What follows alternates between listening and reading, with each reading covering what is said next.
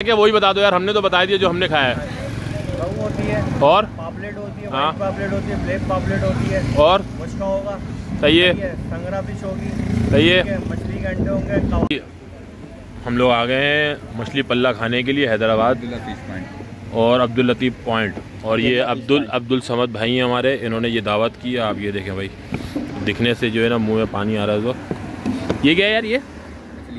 नहीं वो कौन ये संगरा। संगरा और ये क्या है? ये मछली का अंडा है। ये अंडा है ये? हाँ ये अंडे ही हो गया पता नहीं क्या है। कबाब भी तो था ये क्या है? वो कबाब है मछली है। भाई ये मछली का कबाब है ये मछली का अंडा है और ये मछली है भाई। ये भाई इस वक्त हम लोग जो है यहाँ पे हैदराबाद में मछली खा रहे हैं। खाना भाई कितना रहेगा अंडा जायका तो है भाई। हम्म? जायका तो है। अंडा तो ना एक हफ़्ते के बाद हम लोग खा रहे अंडा भी खाओ कबाब भी खाओ। अंडा कौन सा अंडा? ये है ना? हम्म, अभी अंडा है। अभी अंडा तो यार हम लोग बहुत भाई ये मछली का अंडा अब्दुल्ला फ़िश पॉइंट, यहाँ पे आइए भाई, आपको मछली का अंडा मिलेगा, कहीं भी नहीं मिलता है, कराची में ये बहुत ढूंढा हमने नहीं मिला। और जायका भी भाई बहुत ज़बरदस्त है। ये क्या है, ये मछली का गोला कबाब। ये मछली का गोला कबाब है भाई।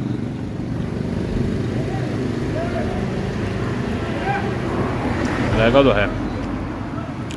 क्या बोल रहा मैं हाँ जायका है है भाई रात के दो बजे भाई मछली फोड़ रहे हम लोग तो वाह भाई वाह। आप हैदराबाद जब भी आओ ना तो ये माशाल्लाह पॉइंट पर आओ। और मा क्या है? अब्दुल्ला। पॉइंट पर आइए। ये देखें अब्दुल्ला फ़िश पॉइंट भाई सही है? मेन सदर के ये जगह कौन सी है? ये हैदर चौक से आगे गोल बिल्डिंग। हाँ। गोल बिल्डिंग से सामने ये घोड़ा बना हुआ है इसके बिल्कुल सामने। भाई देखें ये है मछली का गोला कबाब। मगर इसकी जो जायका है ना बहुत आउट स्टैंडिंग है और सबसे अच्छी बात ये भाई यहाँ मछली का फिशा मिलता है। मछली का अंडा ये। ये हमने पूरे कराची में ढूंढा हमें नहीं मिला अभी तक तो। और जायका अगर ये बात करें जायका तो बहुत ही आउट स्टैंडिंग है इसका।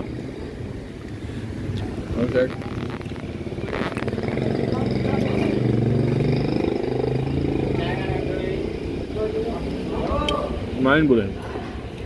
ये यहाँ के ओनर है। अच्छा भाई ऑनर है भाई। क्या वही बता दो यार हमने तो बता दिया जो हमने खाया है। होती है और? पापलेट होती है हाँ। पापलेट होती है ब्लैक पापलेट होती है। और? मुश्का होगा।